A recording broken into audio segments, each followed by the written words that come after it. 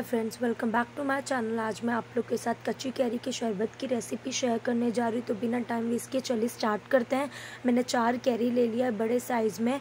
मैं और ये खट्टी वाली कैरी नहीं है। अगर आपकी खट्टी वाली कैरी होगी तो आपको बाद में शुगर ऐड करनी पड़ेगी। तो पहले मैं बता देती हूँ, आपको मैंने इडली के बर्तन में इसे बॉयल करने के लिए रख दिया है। आप टेन टू फिफ्टीन मिनट्स लगेगा, अच्छे से ये बॉयल हो जाएगी।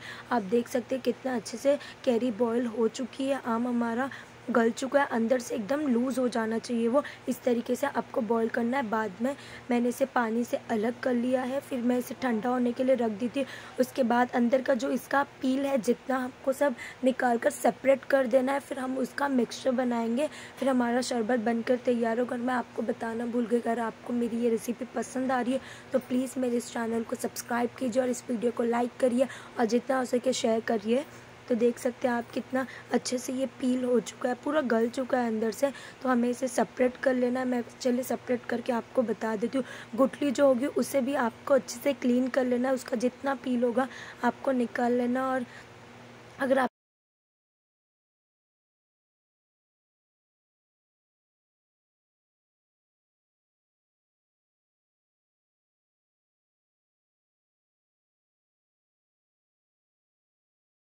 मैंने एक मिक्सर के ग्राइंडर में सारा जितना पील मेरा निकला था, मैंने उसको मिक्सर के ग्राइंडर में डाल दिया। उसके बाद मैं इसके अंदर पुदीना के पत्ते ऐड कर दूँगी। आपको फ्रेश पुदीना के पत्ते ऐड कर देना है।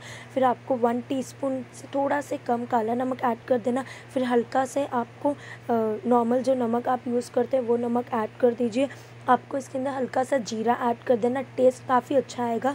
इसके बाद आपको बस इसे ग्राइंड कर लेना है, अच्छे से। इसको पानी मत डालिए, थोड़ा मोटा ही पेस्ट बना कर रखिएगा।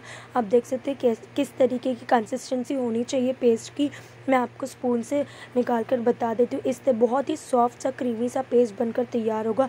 आप इसकी आइसक्रीम भी बनाकर तैयार कर सकते हैं। आइसक्रीम फ़िलहाल अभी मैंने नहीं शेयर किया।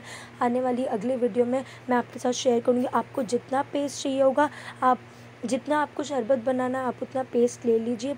मैंने चार से पाँच टीस्पून लिया है। उसके बाद इसके अंदर आप चिल्ड वाटर ऐड कर दीजिए। आप आइस क्यूब्स भी डाल दीजिए। बस हमारा शरबत बनकर तैयार हो गया।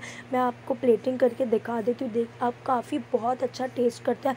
और गर्मियों का में तो बहुत अच्छा लगेगा। ये पीने का आपकी बॉडी को बहुत हाइड्रेटेड रखेगा। हल्का से मैंने कुछ पुदीना के पत्ते के साथ इसे गार्निश कर दिया। और जो मैंने बाकी की प्यूरी जो बच गई थी, मैं उसे स्टोर करके रख दूँगी। एक कंटेनर में आप इसे, मैं वो भी दिखा रही हूँ आपको, आप इसे कंटेनर में स्टोर करके रख सकते हैं।